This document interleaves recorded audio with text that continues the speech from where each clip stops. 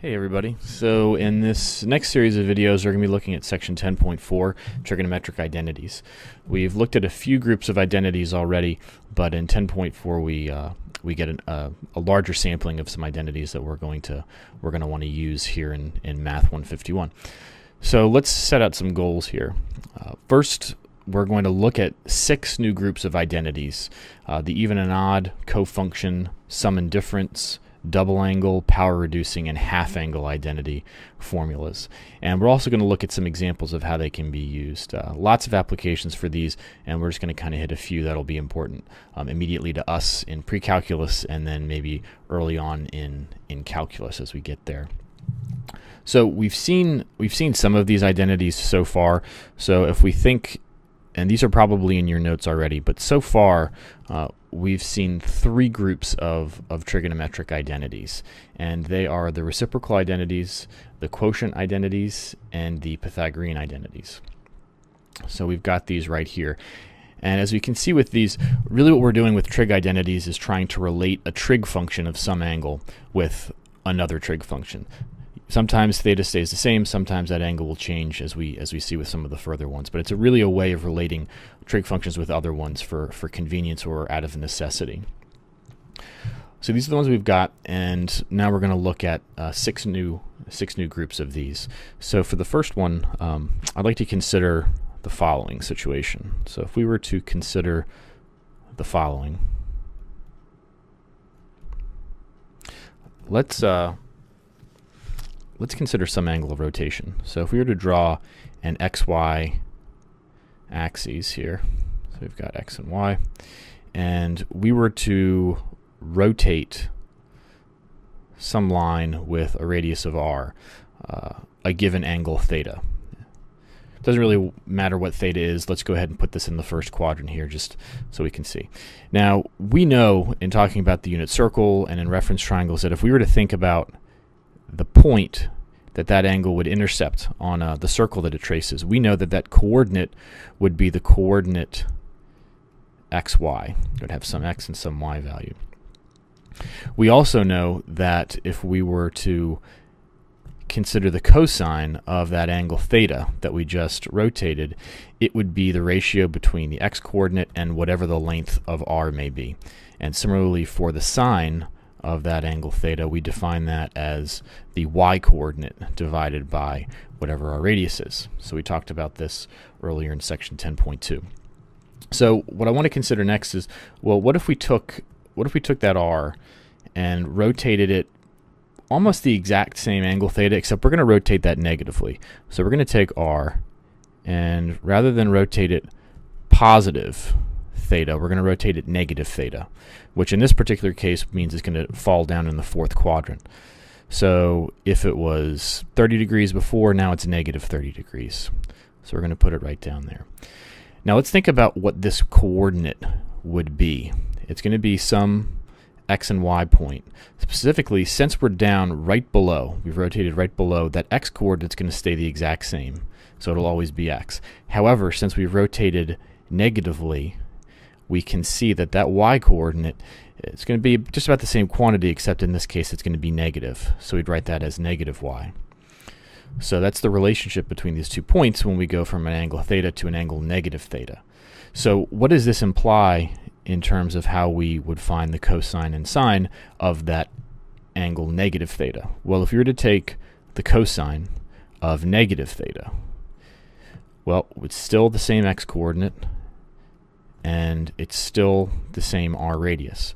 Whereas for the sine, if we were to take the sine of negative theta, that's going to be minus y now divided by divided by r. So we notice how these relate. Um, taking the cosine of theta or of negative theta will result in the same value.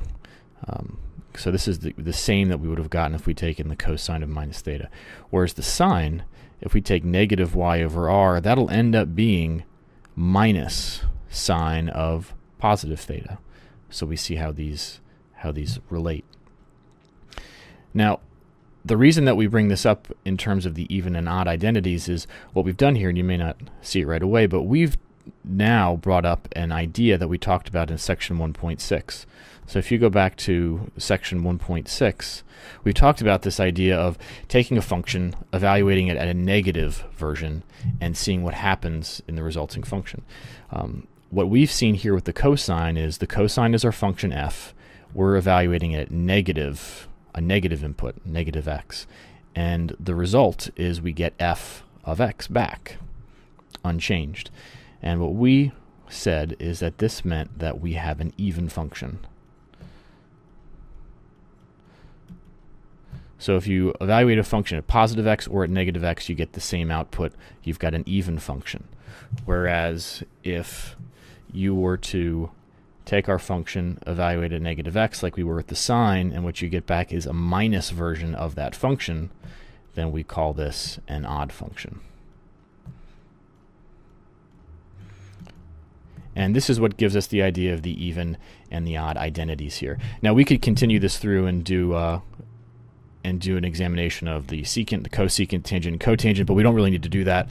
Um, what we're going to do is we're just going to sort of bring in the the list of identities. So if if we looked at all of the the possibilities here, we'd see that we have the following list of, of identities for the even and odd ones.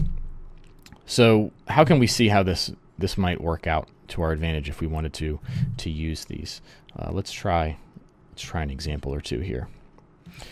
So let's say, for an example, I wanted to find the sine of, oh, I don't know, minus 135 degrees. Now, we've got a few different ways we could do this. We could actually sketch out an angle of rotation of negative 135, or maybe this might be a good opportunity for us to, to see how the even odd identities work in our favor. So if we look at the even odd identity for the sine of minus some angle theta. We know that this should end up being minus the sine of positive 135 degrees. And we know that the sine of 135 is that angle in the second quadrant, and that's going to be the square root of 2 over 2. So this identity tells us that the sine of minus 135 is actually going to be minus the square root of 2 over 2. You might have other ways of figuring this out, and that's great. Um, but this is this is one way we could use these identities. Let's take a look at another one. Let's say we had the cosine of, let's take minus 11 pi divided by 6. So again, let's go ahead and consider the, the even and odd identity here. So the cosine of a negative angle is going to end up being equal to the cosine of the positive version of that of that angle. And we can evaluate this and cosine of 11 pi over 6 it's that uh, 30 degree reference angle in the fourth quadrant which is going to give us a value of the square root of 3 over 2.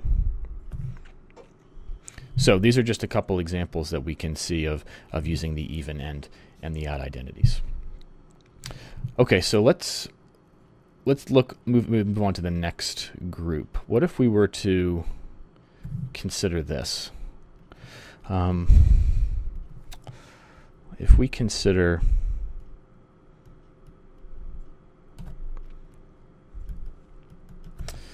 let's draw a right triangle here just to kind of get this started. So let's say we've got a right triangle and it's labeled accordingly. So we'll go ahead and label this A, side B, and side C. Let's call this acute angle here theta, and we're going to call this angle up at the top phi. So that's phi.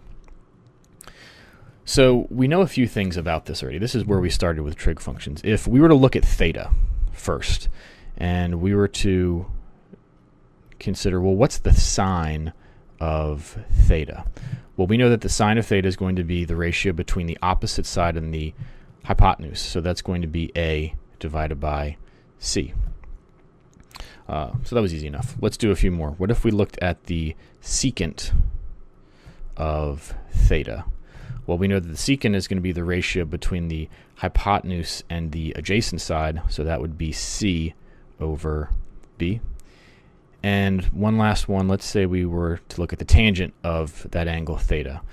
Well, tangent is opposite over adjacent, so that would be A over B. So that's easy enough. That's just basic stuff from section 10.2. What we want to consider here is that, well, what if what if we changed our attention to phi rather than looking at theta? What if we changed our uh, uh moved our attention to phi? Well, reference to phi, if we looked at the ratio between A and C, like we have with the sine of theta, A is now our adjacent side, C is the hypotenuse. So the sine of theta, which is A over C, is also going to give us the same uh, result if we were to take the cosine of phi. And we can see sort of a similar association as we work we work our way down. What we have uh, C over B would also be the cosecant of phi. And A over B would be the same ratio if we were to take the cotangent of phi.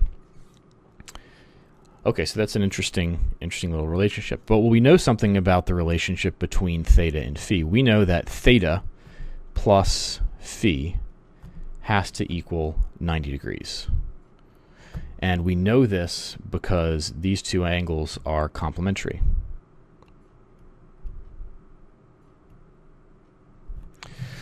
So this is where we get this idea of complementary functions or co-functions. The cosine and sine are co-functions because when you take the sine of an angle and the cosine of its complement, you get the exact same value.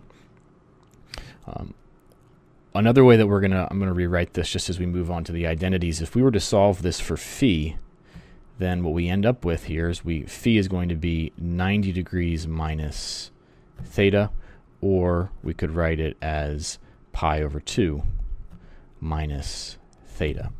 So theta and phi being complementary give us this relationship.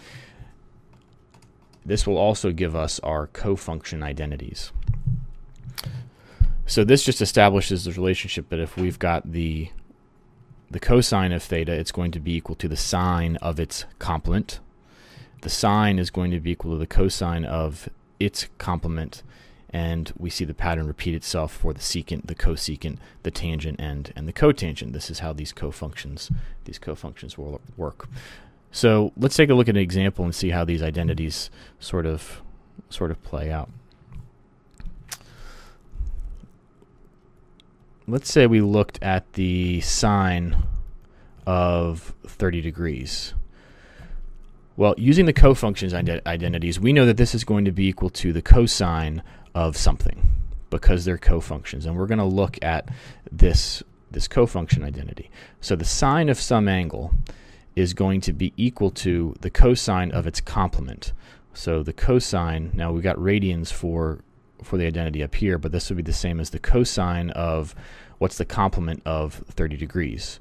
Well, it's going to be 90 degrees minus 30 degrees, or the cosine of 60 degrees.